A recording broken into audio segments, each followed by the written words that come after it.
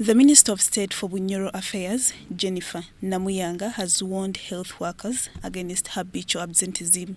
The minister wants an upgrade of Kagadi Hospital to a referral level status so that it can offer specialized services.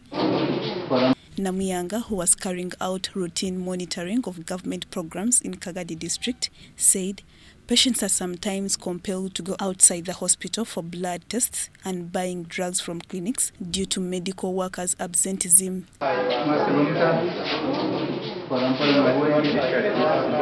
The minister warned Kagadi Engineering Department against hiding from officials monitoring government projects in the district. People should always come and give you technical guidance.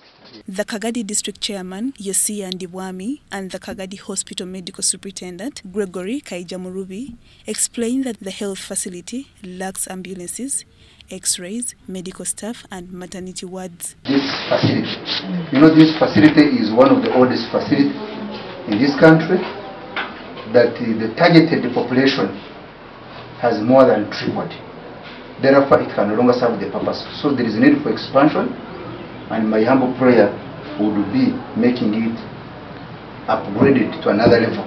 Kagadi Hospital is the only public hospital in Greater Kibale area that handles patients from districts of Kikube, Chenjojo, Kagadi, Ntoroko, and parts of DRC Congo.